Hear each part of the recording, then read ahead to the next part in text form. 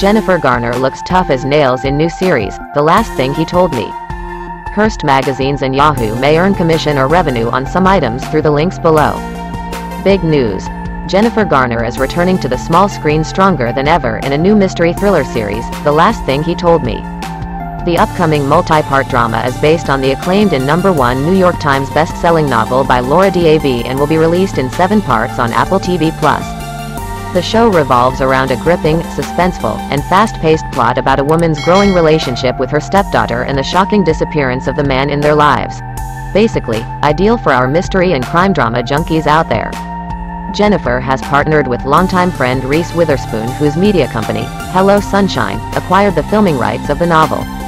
Read on for everything we know about The Last Thing He Told Me, including the cast, plot, premiere date, and more.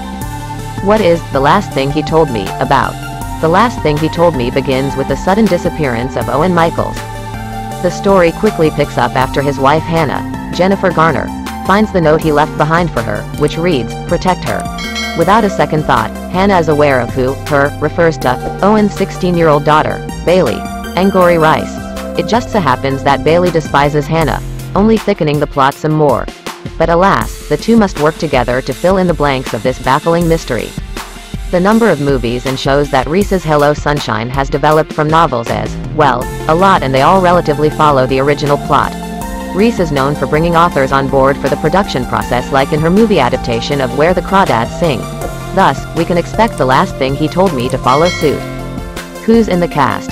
Jennifer Garner takes the leading role in the series as Hannah Owen.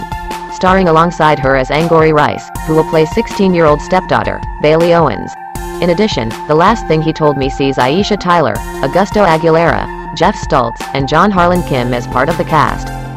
The series' first two episodes will be available for streaming on Apple TV Plus on Friday, April 14th. From there, new episodes will be released every Friday through May 19, 2023. That's how we present this content. Don't forget to like, comment, share and subscribe. For the support of our viewers, thank you.